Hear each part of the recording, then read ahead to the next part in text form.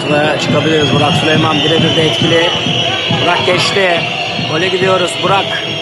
Burak onu da geçti. Burak orta. Bir kafa ve gol! Sinan'ın golü 1-0 öndeyiz. Dakika 38.